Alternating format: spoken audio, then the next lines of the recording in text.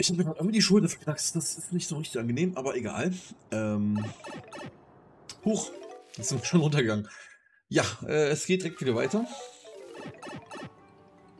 Genau, wir starten in den Duellkerker. Und wie gesagt, mal schauen, wie weit wir kommen. Wir haben direkt schon auf der ersten Etage einen Gegner, den wir vorher noch nicht kannten. Duellkerker, erst Untergeschoss. Im Duellkerker funktioniert es folgendermaßen. Auf jeder Etage müssen wir halt eine gewisse Anzahl an Gegnern besiegen. Um hier voranzuschreiten. Ich hätte vielleicht doch mal einmal ins Totos gehen sollen, um unsere Sternenergie aufzuladen. Aber naja. Und vor allem find, trifft man hier auf eine äh, Anzahl neuer Gegner. Und ähm, ja, auch einige Gegner sogar, die exklusiv nur hier vorkommen. Insgesamt gibt es 100 Etagen. Das heißt, man kann leider auch nicht speichern zwischendurch. Also man muss immer wieder, wenn man rausgeht, muss man immer wieder bei Null anfangen. Alle 10 Etagen gibt es einen Bonus und ab und zu gibt es ähm, auch, ja, sehen wir noch alles. Oppor ähm, ähm, Opportunities, Gelegenheiten, um ein paar Etagen zu überspringen. Da muss man mal aufpassen, dass man nicht die Zwischenetagen, auf denen es halt Bonus gibt, äh, überspringt. Das ist alles so ein bisschen heikel.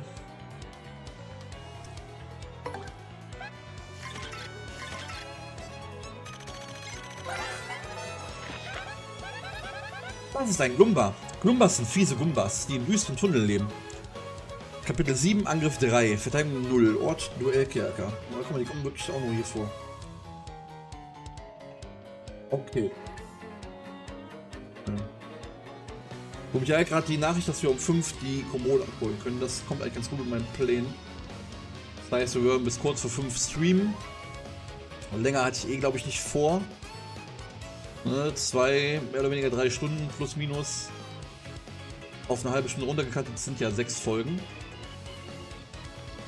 Gut, für eine Woche brauche ich sieben, aber ich habe wie gesagt noch ein paar auf Halde. Das müsste passen. Genau. Ja, ja, ja, ja, ja. ja. Sie sehen zwar aus wie normale Gumbas, aber du solltest sie nicht unterschätzen. Wegen der ungesunden Gesichtsfarbe, das ist normal. Mach dir mal keine Gedanken. Drei Angriff. Scheiße. Sorg lieber dafür, dass du diese Viecher schnell erledigt hast. Ja, drei Angriff ist natürlich schon heftig, ey. Gut, bringt den Kollegen nix. Mit unseren neuen Schuhen ist das natürlich gar kein Problem.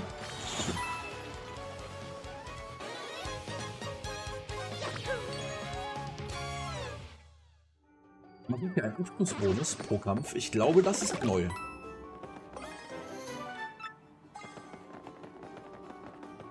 Ich glaube, einen Abschlussbonus gab es vorher so noch nicht. Das sind die Duellkerker. Besiegende Feinde und dringen immer tiefer nach unten vor. Findest du nicht auch, dass die Luft hier kühl ist? Wir sind wohl schon ziemlich tief unter der Erde.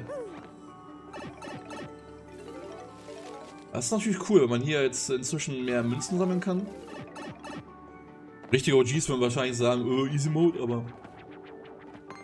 Hm. Sproings kennen wir ja. Ja, sicher das.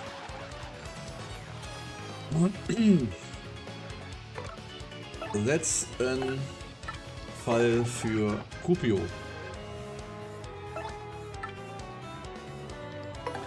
Okay, ja. Dann machen wir eine Showeinlage und Kupio räumt hier auf.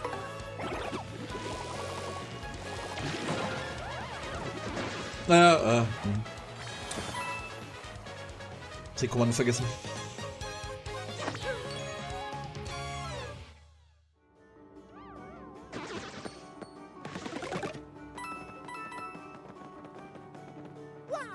Das ist ja alles noch relativ einfach.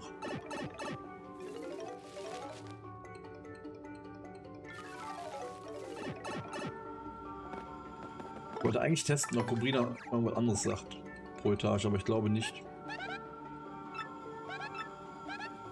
Ne, okay. Äh, Megasproings kennen wir auch schon, ne?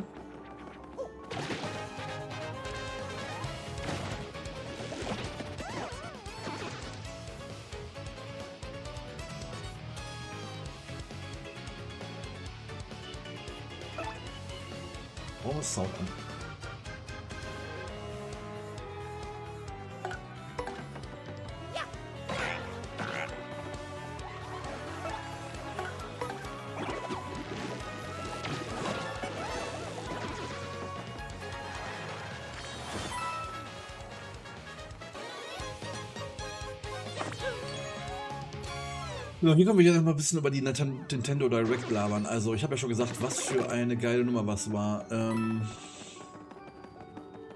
neben viel Square Enix-Kram, die einfach alles 10.000 Mal verwursten. Wobei da auch coole Sachen dabei sind, wie die HD, HD, wie haben sie es genannt? HD 2D Remakes von äh, Dragon Quest 1, 2 und 3. Wobei jetzt 3 zuerst rauskommt und 1 und 2 dann nächstes Jahr. Ähm, was an sich ein bisschen komisch wirkt, aber in dem Sinne Sinn macht. Da ähm, die ersten drei Dragon Quests eine Trilogie bilden, die da so aufgebaut ist, dass ähm, ja, 3 ein Prequel zu 1 zu 2 ist. Also 1 zu 2 die Gesch Geschichte, 2 ne? schließt sich an 1 an und 3 ist aber ein Prequel zu 1. Deswegen macht die Veröffentlichung jetzt für den Remakes, dass man da mit 3 startet, Sinn. So, dann kann man die nämlich chronologisch verfolgen, wenn man das denn tun möchte. Wie gesagt, die anderen JRPGs, die die da hatten, fand ich alle irgendwie nicht so ansprechend.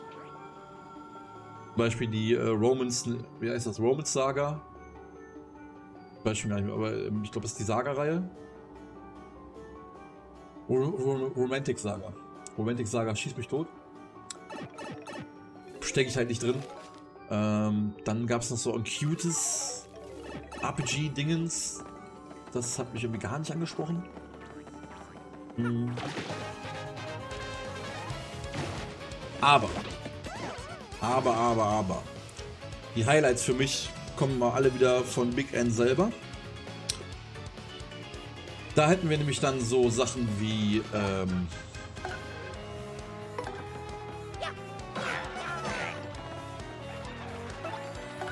vorne vorweg kam direkt, ich glaube sogar als erstes direkt, ne? Ein neuer äh, Teil der Mario Luigi-Reihe, welche ja ähm, seines Zeichens die andere Rollenspielreihe neben Paper Mario war.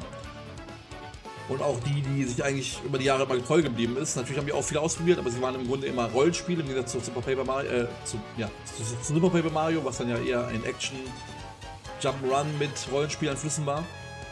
Was ich sehr schade von damals.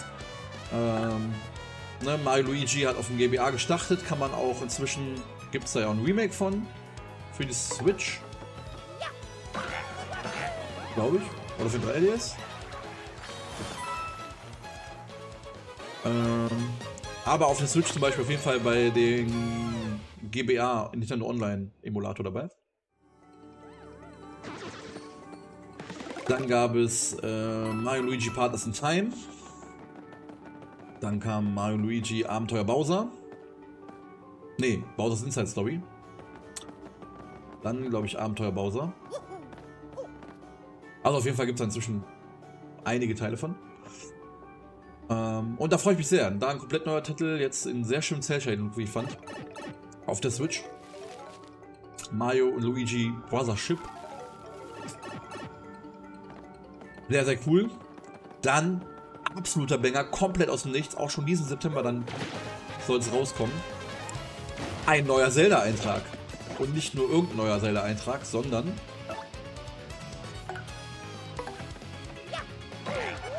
erstmal mit dem sehr schönen Stil von dem Link Awakening Remake für die Switch, was vor ein paar Jahren rauskam. Dieser Diorama-Look, wo alles so ein bisschen so wie so Knetfigürchen aussah. Den mochte ich sehr gerne. Und dann spielt man einfach mal Zelda. Zelda ist die Hauptaktrice. Die Hauptprotagonistin. Und Leute, geht da das Internet schon wieder Riot. Alter, die Leute sind so kaputt, ne? Ohne Witz, ey. Was ich da schon für eine Scheiße gelesen habe, von wegen, uh, Gameplay sieht voll öde aus, uh, Grafik ist scheiße, uh, Zelda als äh, Protagonistin, ey, Nintendo ist so woke, äh, äh, äh. Haltet all die Fresse, ganz ehrlich, ey. Ich freue mich mega drauf. Gameplay, ja, konnte man jetzt wenig achten aus dem Trailern. Man hat halt irgendwie einen Stab, äh, mit dem man Sachen speichern kann. Also Stühle, Möbel, Betten, aber auch irgendwie Gegner. Und dann kann man diese halt unendlich replizieren, um da somit dann Also das Gameplay scheint ein bisschen mehr auf Rätsel als auf Kämpfe auszu ausgelegt zu sein. Und dadurch, dass es anscheinend kein Limit gibt, wie viel man mit diesen Sachen beschwören kann, ist die Frage, wie schwer dann diese Rätsel werden oder wie kreativ man damit umgehen wird. Aber das muss man halt sehen. Ich vertraue da Nintendo auf jeden Fall. Wenn Leute sowas, also wenn Leute solche Spiele halt kreativ einsetzen können, dann ist es Nintendo. Ähm, deswegen bin ich äh, sehr gespannt drauf.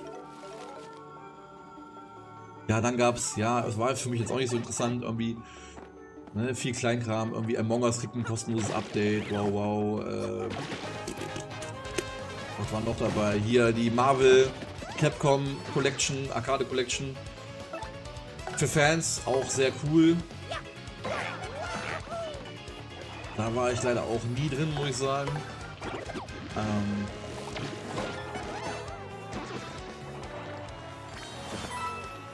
noch diverse Live-Sims, mal wieder irgendwie Farming Spiel XY. Demperman, kostenlos, habe ich irgendwie auch nicht abgeholt, weiß ich nicht. Stecke ich nicht drin. Aber dann zum Schluss. Nach dem letzten Lebenszeichen vor sieben Jahren. Der erste Teaser für Metroid Prime 4. Holy fucking cow. Let's go. Hab ich Bock auf diesen Titel. Oh mein Gott. Metroid Prime werden wir auf jeden Fall auch noch hier zocken. Ähm, habe ich auch schon lange, lange auf der Liste als Let's Play. Ähm, hatte ich dann damals irgendwie, habe ich mich dann nicht für Let's Play entschieden, habe aber trotzdem mal kurzerhand auf dem GameCube-Emulator, ähm, eigentlich wollte ich nur ein bisschen testen und habe dann einfach Metroid Prime 1 damals privat dann auf dem Emulator in HD einfach nochmal durchgezockt. Ähm, davon gibt es ja ein Remaster auf der Switch, das werde ich mir auf jeden Fall auch mal zulegen und dann jetzt mit der Capture-Karte, dann irgendwann werden wir das angehen. Metroid Prime 4 soll erst 2025 äh, erscheinen. Ich könnte mir vorstellen, wobei Metroid ja nie so das stärkste Zugpferd von Nintendo war, aber mit dem Verweis auf 2025 könnte ich mir vorstellen, dass das ähm, ja, der Titel wird wie äh, Twilight Princess oder ähm, Breath of the Wild, also der Titel, der die Generation miteinander verbindet. Das heißt, der auf Switch und Switch 2 gleichzeitig rauskommt. So dass man sich entscheiden kann, auf welcher Konsole man das dann sich holt. Und dann direkt als, als, ja, als Launch-Titel für die neue Konsole. Wahrscheinlich dann mit ein bisschen besserer Performance. Hoffentlich. Ja, ey, richtig geil drauf, ey. Ich hab so Bock. Ich war so gehypt damals, als die Ankündigung kam. Dann war es ja ein paar Jahre ruhig. Dann kam aber die Nachricht, okay, es geht doch wieder zu Retro Studios, zu den Originalentwicklern. Äh, aber die Entwicklung fängt immer von vorne an. Ich glaube, das war vor sieben Jahren, diese Ankündigung. Und jetzt hören wir wirklich, jetzt ist es soweit. Ich hoffe, dass bis dahin dann vielleicht nochmal ähm, 2 und 3 auch irgendwie auf die Switch kommen. Als Remaster. Das würde ich sehr begrüßen, weil dann könnte man die ganze Trilogie im Idealfall noch durchziehen. Ähm, ja, und wie gesagt, das sind zwar nur drei Titel, aber die haben für mich diese ganze Direct ähm, doch sehr episch gemacht, muss ich sagen. Bisher läuft ja ganz gut hier, ne? Warum laufe ich da so rum? Ja, weil ich meine Gedanken ordnen muss. Entschuldigung.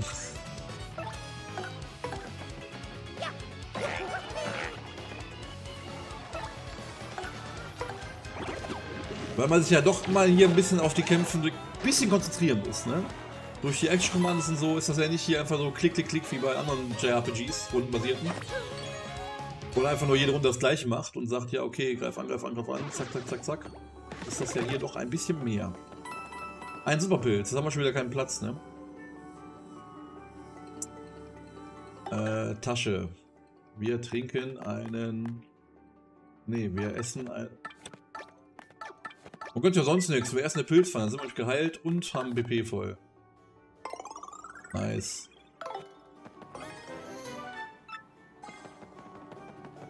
So, ich weiß auch gar nicht, auf welche Etage sind wir jetzt eigentlich. Wir sind noch nicht auf, am, oh, auf den 9. Ja? Ich wollte gerade sagen, irgendwann müsste jetzt langsam mal die erste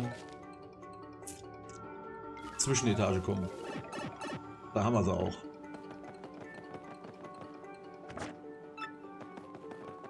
Hier sehen wir. Es gibt eine große Kiste. Orden Schnarcher erhalten. Hiermit steht von Mario Gegner ein, sie greifen nicht an. Ja, Statusveränderung, ne? Vielleicht muss ich irgendwann auch mal, aber... Das ist immer so, denke ich, ah, WP, ja, ganz cool, schlafende Gegner, hm, aber irgendwie... Tote Gegner sind besser als schlafende Gegner. So, deswegen bin ich eher, wenn dann, für irgendwas, was mal Schaden macht und so. Als nur irgendwie Statusveränderung. Zurück zum Eingang. Achtung, gehst du zurück, musst du noch einmal von vorne beginnen. Genau, also auf jeder zehnten Etage, habe ich ja auch gesagt, ne, kommt man, hat man die Möglichkeit wieder nach oben zu gehen, aber man muss jetzt auch wieder unten anfangen. Und es gibt dann immer noch äh, hier den guten, den kennen wir aus dem Bubo-Raum. Wie heißt der? Bubowski? Das ist der Verschicker, der manchmal in den Duellkerkern auftaucht. Für wenige Münzen schickt er uns in ein anderes Stockwerk, wenn du es willst. Genau, dann gibt es diesen Knopf, um hier die nächste... Ja, okay. Ich bin der Verschicker und ich kenne ein paar, ein paar Abkürzungen durch die Kerker. Für eine Handvoll Münzen kann ich euch verschicken. Ist das ein Angebot? Zwei Etagen tiefer, fünf Etagen tiefer. Zum Eingang. So. Was ist der Nachteil? Der Nachteil ist, wir kriegen keine Münzen von den Kämpfen und keine Sternpunkte von den Kämpfen. Ähm. So, mehr gibt's nicht. Und man muss halt gucken, wo der auftaucht. Das ist halt völlig random. Der muss nicht hier auf so einer Zwischenetage auftauchen. Ähm so, wir sind jetzt auf 10, das heißt, es auf 15. Finde ich okay, machen wir. Gut, und jetzt Augen zu. Meine Abkürzungen müssen dann absolut geheim bleiben. Blut nicht? Doch, Blut. Aus den Gründen, die ich gerade genannt habe. Denn, wie gesagt, äh, wir müssen bis zur Etage 20 für die Quest. Aber im Idealfall machen wir bis Level 50 weiter für ein geiles Item, was ich haben möchte. Vielleicht ist das auch völlig ähm, bescheuert, weil die Gegner bis dahin viel zu hart werden. Nur mal gucken. Ich weiß nicht. Was ich weiß, ist, dass wir hier ein Maximbeben machen.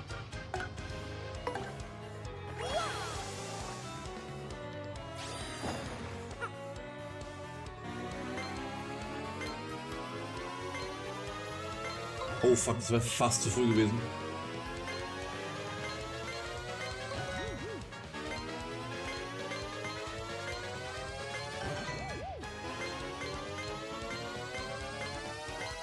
Kurz am Anfang ist gemein.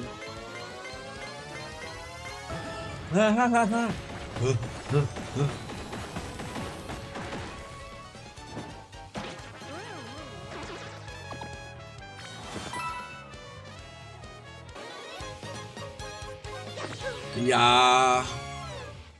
Problem ist auch, jetzt haben wir ja, jetzt habe ich ja hat meine Mitbewohnerin zugesagt, dass wir um 5 Uhr diese äh, Kommode abholen. Oder gegen 5. Ähm, damit haben wir natürlich jetzt auch ein bisschen Stress. Also ein bisschen Stress übertrieben. Äh, ne? Aber ja, ich weiß, was du meinst. Ja, ja, Zeit. Zeit ist ein Lieb. Immer. Wir gucken einfach mal. Komm. Komm. Sind wir schon die. Ne, jetzt sind wir 16, ne? Komm her. Vielleicht noch den Hammer nehmen sollen. Umbrina, erleuchte mich. Ich, ähm, ja, eigentlich auch. Ne? Angriff 3. KP 7, bloß die können fliegen. Das ist ein Paraglumba. Paraglumbas sind fiese, geflügelte Gumbas. Du findest sie in düsteren Tunnel, da fühlen sie sich am wohlsten. Maximal KP 7, Angriff 3, Verteidigung 0. Sie sind wie Paragumbas, nur etwas stärker eben, aber sonst nichts Besonderes. Ob die Flügel so kalt und nassen Keller nicht gleich schimmeln? Igitt, das ist ja widerlich.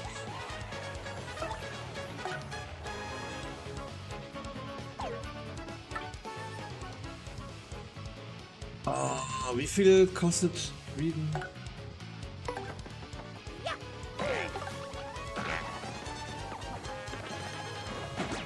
Aua! Ach nö, jetzt wird die, jetzt ist hier auch noch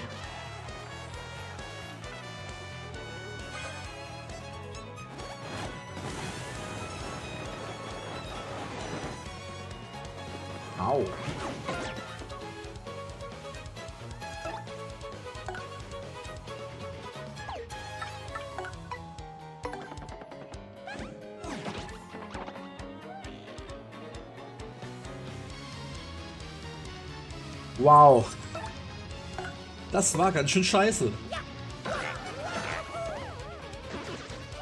Also ich hatte kurz die Hoffnung, dass ich vielleicht mit der Multikopfnuss direkt ähm,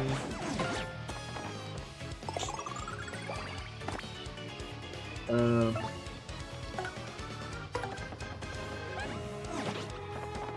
Was mache ich hier gerade? Mit der Multikopfnuss den hinteren Glumba in einer Runde erledige. Hat nicht geklappt. Ich finde es frech, dass wir für die nur einen Sternpunkt kriegen, muss ich tatsächlich sagen. Ich finde, dass uns Gegner, die sind ja schon ein bisschen stärker, da könnte man ruhig auch noch irgendwie mindestens zwei raushauen. Aber wer bin ich schon?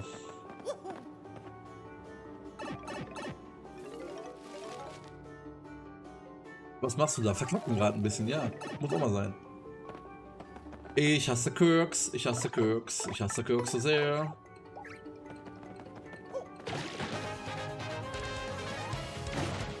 Finde, wenn ich den Rücken spieße, sollte es eigentlich noch mehr Schaden geben.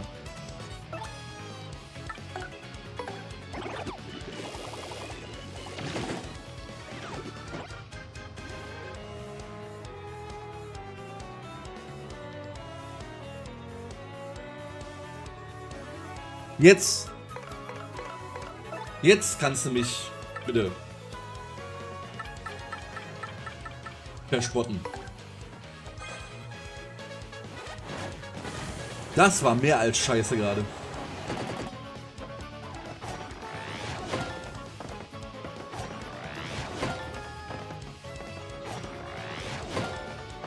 Korrigiere.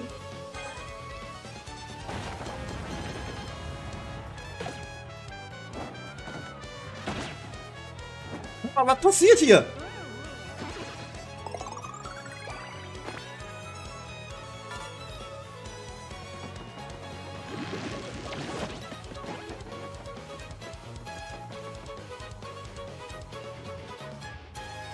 Geht ab? Das letzte können, dass sie das Ding einsetzen und dann auch noch die hintere Rückwand umfällt. Packy Doodle, das war jetzt, ähm, wow. That escalated quickly, I would say.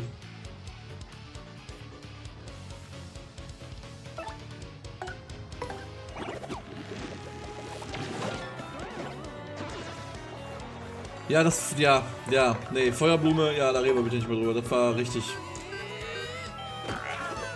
Äh. Warum kommt der Hammer kommt auch nicht durch? Ach, es ist doch so, ich hasse. Habe ich gesagt, ich Kirks hasse? Also die Gegner sind für wirklich, also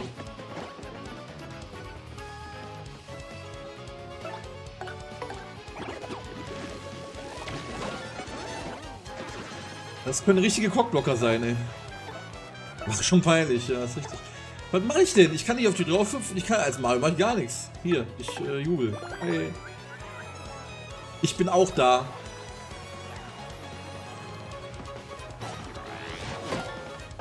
Showanlage ist schon krass, ne? Wie viel eine Showanlage bringt.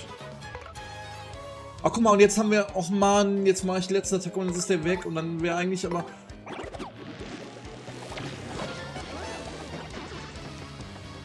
Könnte Bingo trotzdem noch triggern. Okay, immerhin, immerhin 8 Sternpunkte. Endlich meine Verdopplung der Sternpunkte. Wo? Wie? Ah. Ich wollte gerade sagen, Spiel. Weil bei alten wurden die immer noch unten angezeigt. Und ein bisschen Münzen. Leck mich fett. Ich überlege gerade, ob ich nicht, ähm, vielleicht sollten wir, ähm Ach, wir haben gar keinen Blumensegen, ne? Das haben wir im Shop gesehen.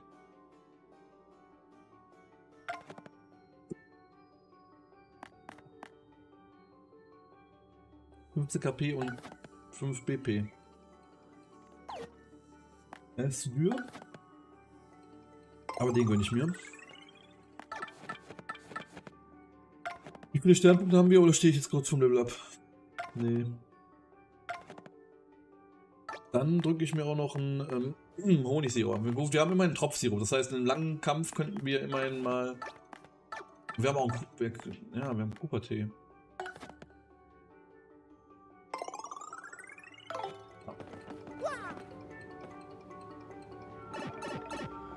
Eieieiei. Guck mal an, da ist der Vater. Und ein Pokey. Haben die Schnurrbart?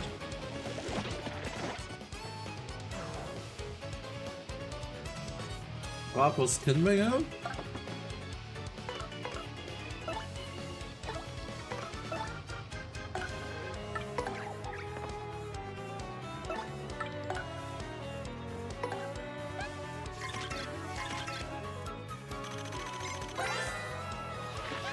Platz war, ne? Das ist ein Poki. Poki ist ein Kaktusmonster mit fiesen Stacheln. Maximale KP 4, Angriffskraft 3. Verteidigung 0. Pass auf die Stacheln auf, wenn du springst, tut das bestimmt ziemlich weh. Pokis werfen mit Teilen ihres, ihres Körpers oder Pfeilen auf dich drauf. Außerdem rufen sie gerne Verstärkung. Lass sie uns schnell besiegen. Ja.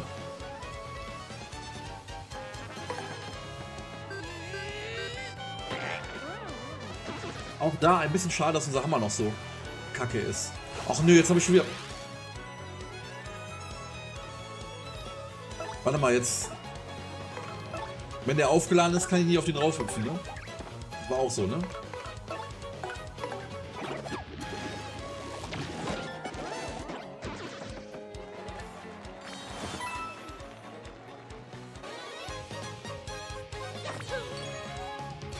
Aber mit Sternpunkt ärgert mich echt ein bisschen, dass man so wenig kriegt, ne? Ja, ja. Bin auf guten Weg, würde ich sagen. Habe ich gerade gezeigt, ne? Im 18. Und da liege ich nun und bin ganz ramponiert. Hey, was? Wer ist da? Hey, was ist? Du bist gekommen, um mir zu helfen? Oh, wirklich? Teddybär hat, dann muss ich zu ihm zurücklebend. Führe mich hinaus. Ich wollte sagen, bitte hüpf dich rein. Ich habe nämlich vergessen, wie du heißt. Also. Das ist... das ist T-Rottel, ein Tod. Oder auch Trottel. Er ist T, die Vater. Und sein Sohn macht sich Sorgen. Also, das ist Trottel ein Tod. Er ist Teddybärs Vater und sein Sohn macht sich Sorgen. Um Teddybär zu helfen, musst du Trottel schnell retten. Genau, okay, man trifft man ihn also zwischen 10 und 20 und muss ihn dann bis 19 durch, äh, bis 20 durchgeleiten. Ich hoffe aber nicht, dass ich mit dem nach oben muss. Ich glaube, der geht dann von alleine nach oben. ruhig, Junge, ruhig, alles gut. Wir regeln das.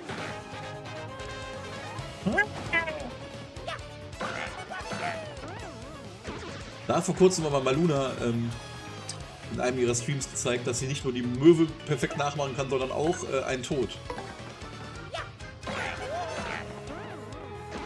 Sehr lustiger Clip.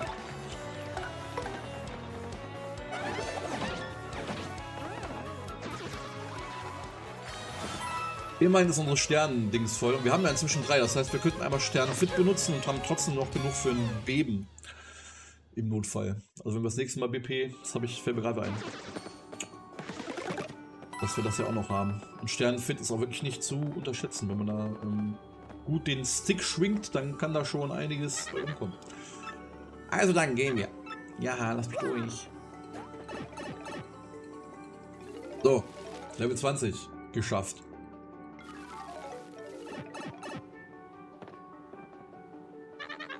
Oh, da ist der Ausgang. Oh, Teddybär, ich komme. Aha, um unsere Belohnung abzuholen, müssen wir dann rausgehen. Na gut, gut. Orden Feuerschlag erhalten. Attackiert, attackiert Bodengegner, umgeht ihre Verteidigung und setzt sie in Brand. Das ist doch mal was Vernünftiges. Also vor allem der Aspekt mit dem Umgehen der Verteidigung finde ich praktisch. Kostet natürlich drei Eier, ey.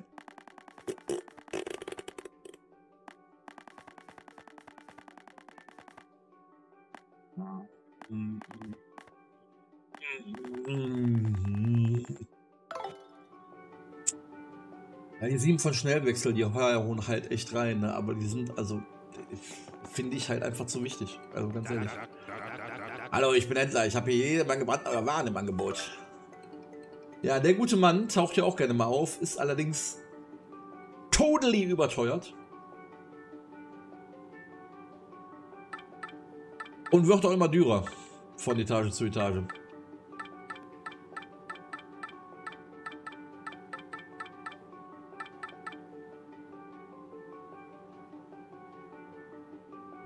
Ich weiß nicht. Ich bin geizig. Nein, lass es doch machen. Aber willst du mich noch einmal schauen? Schade, das ist alles vom Feinsten. Und du sollst gut vorbereitet sein auf das, was ich noch warten könnte. Ramschnick der Hausierer. Mhm. Anscheinend steigen seine Preise, je tiefer wir in den Kerker vordringen. Aber es ist natürlich eine praktische Einrichtung, wenn man hier Items kaufen muss. Das sind Duellkerker, aber hier ist gar kein Gegner. Durch die Röhre, da kommen wir auf einen Schlag wieder zum Eingang. Aber dann müssen wir uns den Weg hierher noch einmal freikämpfen. Da überlegt man sich schon zweimal, ob man zurückkehrt oder weitergeht. So. Fünf Etagen bis zur Hälfte.